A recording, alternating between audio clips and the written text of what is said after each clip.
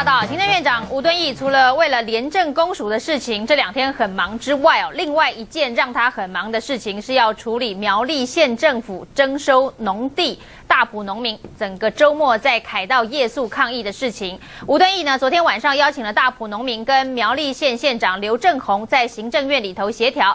这个将近一个半小时的协调会，双方完全没有共识。刘正宏连道歉也没跟农民说。协调结束，林中森和大埔农民走出行政院没多久，苗栗县长刘正宏现身，不顾媒体冲向前，刘正宏钻进车厢，火速离开。沉默快闪，但刘正宏答应吴敦义会与民沟通，制造双赢。不过大埔农民认为刘正宏从头到尾没有表示歉意，根本就是敷衍了事，就是把今天这样子敷衍过去而已。他其实不会真正有任何的考虑。我们还会再次的在团结各地农民的自救会呢，再狠狠的再一次，好做一次更剧烈的抗争。行政院也立刻召开记者会，做出裁示。如果在法定预算没有办法支应的时候，能够啊向企业来募款，来达到从优从宽的目的。农民抗议强制征地，院长认为一片好意。一个半小时的协调会没有共识，苗栗县政府和百姓的征地风波还没落幕。中天新闻黄明君、苏莎 S N G 小组台北采访报道。在这场协调会上面呢，吴敦义是提出了两项方案哦，希望刘正宏能够考虑一下。他说呢，这个叫做大埔的疏洪道。这两个疏洪道的内容是什么呢？第一个呢是缩小征收土地的范围哦，因为这一次抗议的农民大概是整个征地的农民当中的百分之二。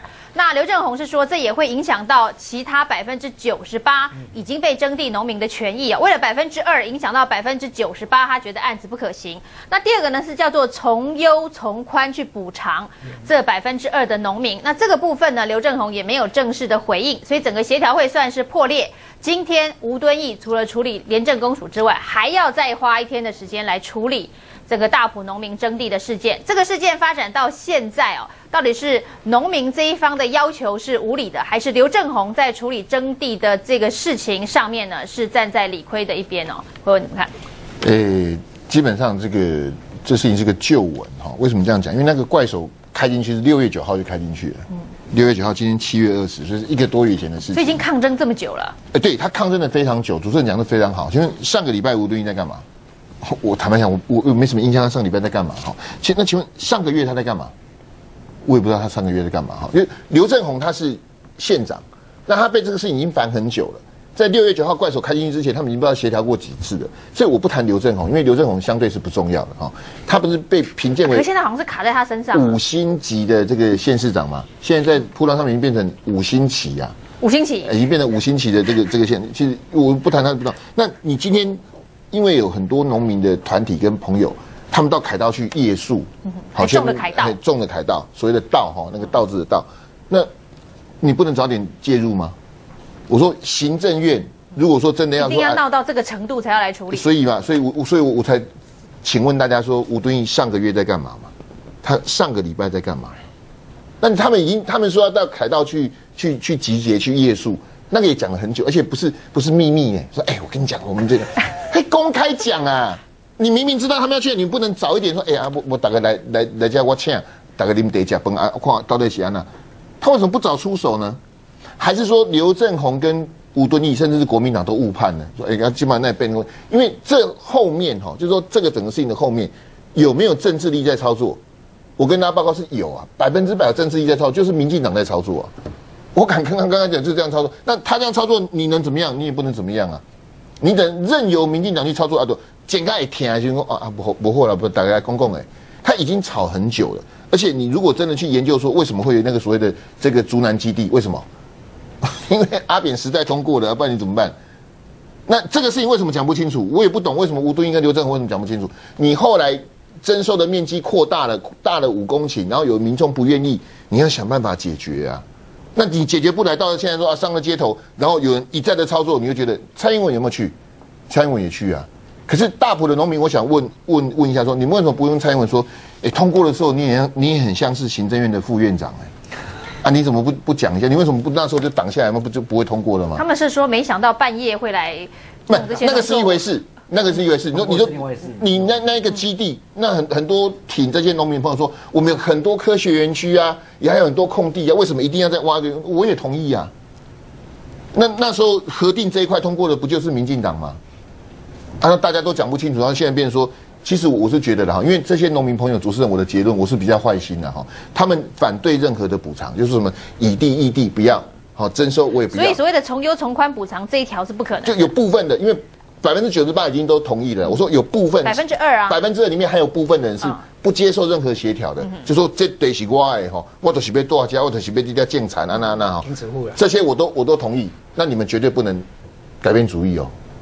叫聘叫给消费出口先那样，你不要说政府说啊，那我我多给一点，然后说好吧，那我就搬走，不行哦，你就给我永远住在那里不准动哦，是这样子吗？不，现在如果说只有这些人是从优从宽补偿的话，那百分之九十八的人就说那为什么我不是？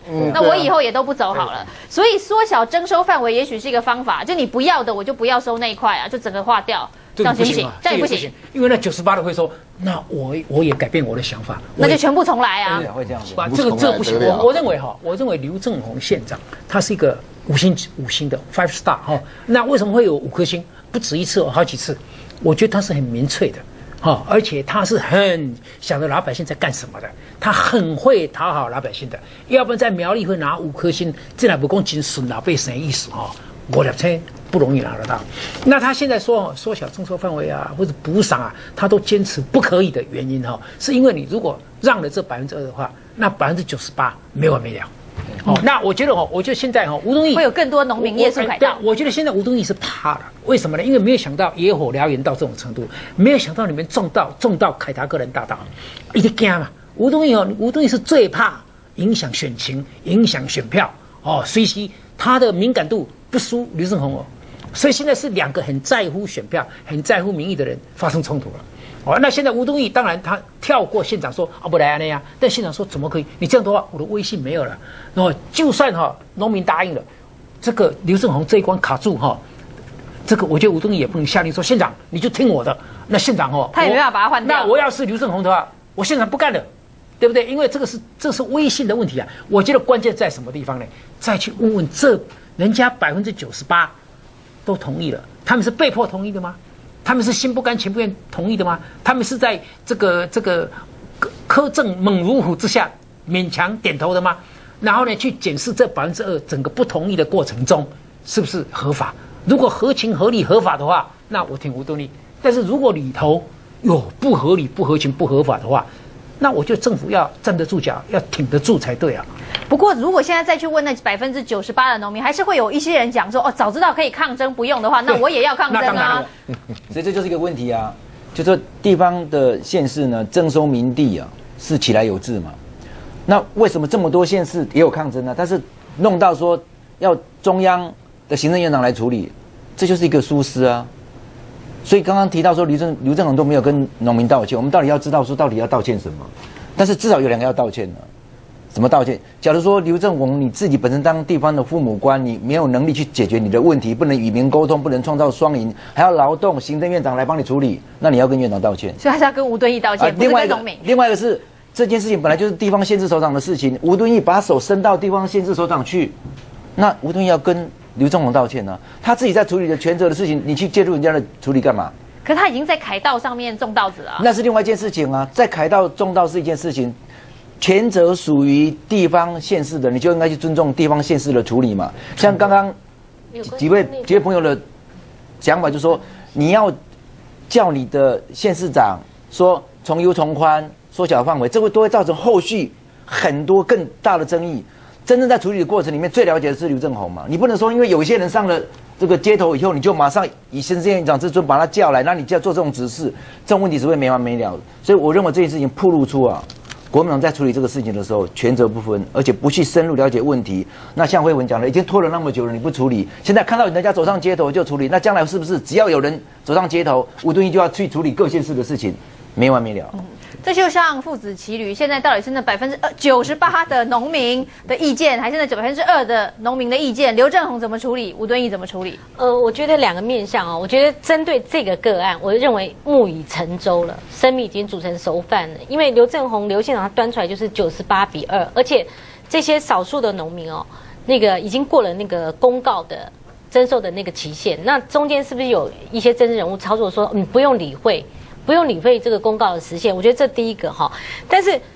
吴院长他现在介入也不是没有道理，因为这有关系到内政部的权责，不全是地方的哈。而且最近最后定都市计划变更，对对对，内政部他国科会是对都有相关哈。但是问题是说，你一个木已成舟的案子，吴院长想用那种翻盘的手法，要全部重新来过，或者说部分，然后针对这百分之二重新去处理，那你如何去对刘院长他口中所说那百分之九十八交代？我觉得这是个案的问题。但是今天这个农委会，你们呃，这个等一下也会有这条新闻是说，重大的建设最好别用农地，这就是我后面要讲的语重心长，因为针针对这个事件，其实可以给我们现在的马政府做一个警惕。因为我过去哦，我参考那个揭弊捉伪小组，其实吴敦义吴院长也在其中，就陈文茜女士所组的那个过去在立法院一个揭弊捉伪小组，他们去统计我们现有的工业工业区跟科学园区，你现有那些闲置的工业区跟科学园区，有的比例是占了七八成，就说你有的是百分之百没用，百分之七十几没用，百分之八十几都变成蚊子园了园区了。那为什么每一个财团他看中这块地，我政府就是说好，那这个地方虽然是呃这个案子是因为陈水扁总统在任内的时候，就因为说一句口号说我要拼经济，我要提倡你们的这个呃农村的一个发展等等一些口号，我就把这个地就是好，那我们现在征收。那一个土地征收，你总有满意跟不满意，同意跟不同意的。你现在留了一个尾巴，所以这个抗争的这些团体跟农民也不是没有道理。他们举到后面，这个案个案不说，后面还有九个地方类似这样的一个地方，所以也是用同样的口号，也要征收，有占多少一千七百公顷的农田。你今天这个事件。虽然九十八比二，好像感觉上已经就是这样了。大家舆论也，我们刚刚这几位前辈有讲到，但是你后续你处理，不要再重蹈覆辙了。就是刚才光庭提到，今天晚报的头版头条新闻是农委会主委陈武雄说，以后的重大建设哦，最好都不要用农地哦，除非是不得已，其他地通通都找不到，最后再来选用农地。先进广告。